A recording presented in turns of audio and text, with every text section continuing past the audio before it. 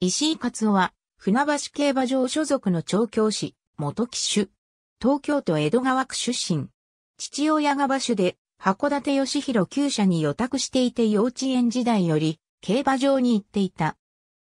小学校時代には、体も小さかったことから函館からも騎手になるよう言われており、本人も動物好きでもあったことから騎手を志す。中学時代には、函館の紹介で、中山競馬場の乗馬クラブに通ったほか、休みには、函館厩舎で手伝いなどをしていた。中学卒業とともに、地方競馬教養センターに入る。初騎乗は1989年4月19日、船橋競馬第3競争、初勝利は同日第10競争。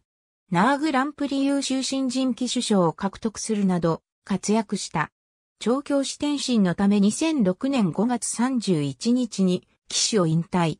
地方競馬通算5286戦584勝。中央競馬通算16戦0勝。2006年6月1日付で調教師となる。翌年4月1日厩舎開業。調教師としての初出走は2007年4月3日、船橋競馬第2競争。初勝利は2007年7月25日船橋競馬第1競争。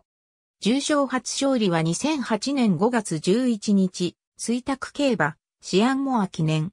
2011年9月22日船橋競馬第5、競争を管理馬シンボリボーデで勝利し、地方競馬通算100勝を達成。厩舎には、桑島隆春が、騎手時代末期に所属していた。ありがとうございます。